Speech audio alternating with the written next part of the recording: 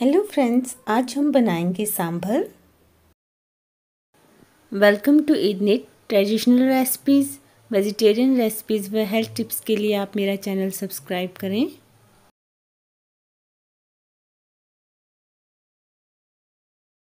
घर में बहुत ही इजी वे में हम सांभर बनाएँगे। सांभर बनाने के लिए तीन चौथाई कप अरहर की दाल, जिसे तूर दाल भी कहते हैं, उसको अच्छे से वॉश करके कुकर में डाल लेंगे। अब हम इसमें पानी डाल लेंगे। मैंने जितनी दाल ली थी, उससे तीन गुना पानी डाला है। दाल में दो तिहाई चम्मच नमक, एक चौथाई चम्मच हल्दी डालकर इसे एक विसल लगवा लेंगे। जब तक दाल में विसल लगती है, तब तक हम इसके लिए सब्ज़ियाँ रेडी कर लेते हैं। मैंने यहाँ पर थोड़े बैंगन घिया और गाजर ली है, आप कोई भी सब्ज़ी ले सकते हैं। दाल को एक विसल लगवा ली है, अब हम इसमें वेजिटेबल्स डाल लेंगे। सब्जियों को बहुत छोटा ना काटें। ये हमने बैंगन डाल लिए। अब हम इसमें कटी हुई गाजर डाल लेंगे। आखिर में हमने इसमें कटा हुआ घिया भी डाल दिया है।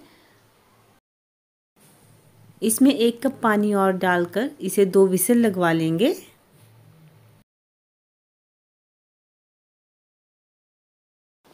दो विसल्स लग गई हैं और कुकर खुल गया है। अब हम कच्ची से इस तरह से थोड़ा सा दाल को मिक्स कर लेंगे। अगर हम सब्जियों को पहले ही दाल के साथ डाल लेते तो ये ज़्यादा सॉफ्ट हो जाती हैं। सांभर में जब सब्ज़ी थोड़ी हल्की सी क्रंची होती है, तभी खाने का मज़ा आता है। अभी हम सांभर की कंसिस्टेंसी एडजस्ट कर सकते हैं। वैसे सांभर पतला ही होता है। सांभर को मैंने अच्छे से घोट लिया है, अब हम तड़का लगा लेते हैं। मैंने अभी इसमें और पानी नहीं डाला है, हम बाद में पानी डाल लेंगे। ऑयल गर्म करके उसमें आधा चम्मच राई डाल लेंगे। फ्लेम को लो मीडियम रखा है। राई चटक गई है। अब हम इसमें दो सूखी लाल मिर्च डाल लेंगे। आठ से दस कड़ी पत्ते डाल लें। एक से दो चुटकी हींग। मसाले भुन गए हैं। अब हम इसमें एक कटा हुआ प्याज डाल लेंगे।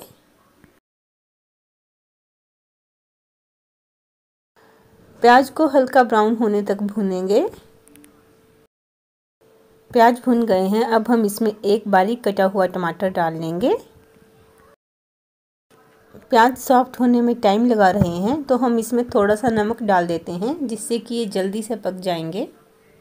हम सांभर में नमक पहले ही डाल चुके हैं, इसलिए अब हम बस थोड़ा सा ही नमक डाल रहे हैं। एक बार अच्छे से मिक्स करके इसे ढक लेंगे और लो फ्लेम पर पकाएँगे।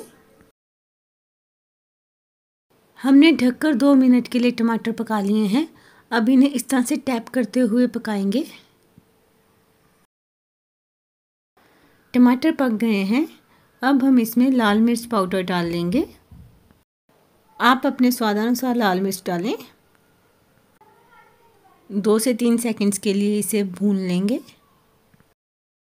अब हम सांभर को कढ़ाई में पलटा लेंगे।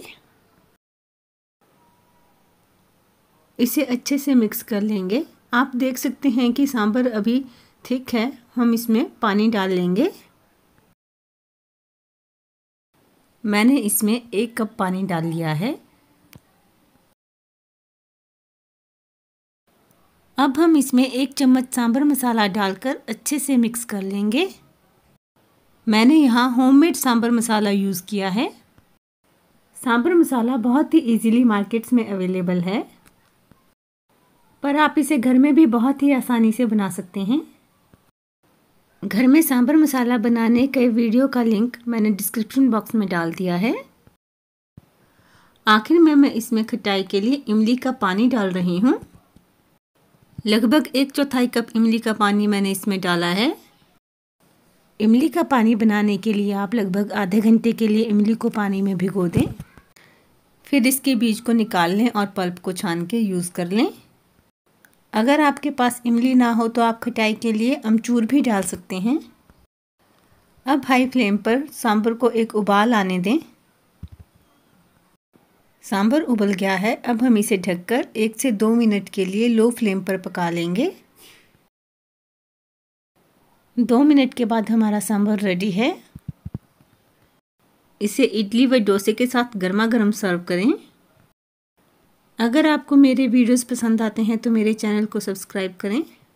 वीडियो पसंद आने पर इसे लाइक व शेयर भी करें। Thanks for watching.